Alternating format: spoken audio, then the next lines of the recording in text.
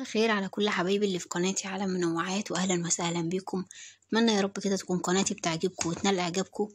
تعالوا بقى نشوف الخبر الغريب ده كده معانا شوية يعني خبر غريب شوية. تعالوا نشوفه كده معانا.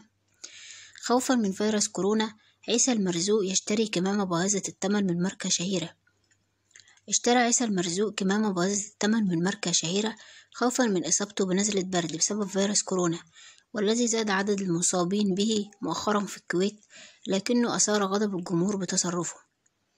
فقد كشف عيسى المرزوق من خلال مقطع فيديو نشر عبر حسابه على السناب شات أنه قد اشترى كمامة من ماركة فيندا والتي يصل سعرها إلى 270 دولار أمريكي أي ما يزيد عن ألف ريال سعودي حيث جاء في تعليقه أنه أراد استعراضها بعد أن قال متابعيه أنهم لا يصدقوا أنه قد يقدم على شرائها بالفعل.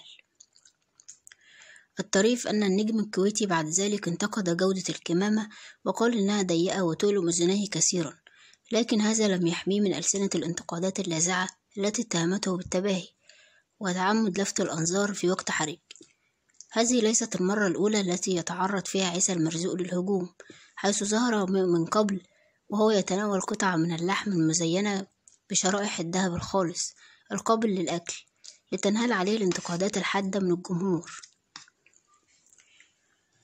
إيه طبعا حاجة غريبة فعلا إن هو يعني في وقت فعلا حرج زي دوت إيه والفنان الكويتي دوت يعني بيتباهى كده كأنه مش همه عادي. وطبعا زي ما إحنا شايفين كده الصور معانا اهيت وهو لابس الكمامة. إيه حاجة غريبة فعلا يعني. هستنى أسمع رأيكم يا حبايبي في قسم التعليقات. ما تنسوناش بقى لو عجبكم المقطع ف like و share و subscribe وتفعلوا الجرس عشان يوصلكوا كل جديد على قناتي عالم منوعات وهستنى أسمع رأيكم إن شاء الله في قسم التعليقات. أشوفكم على خير يا رب. مع السلامة.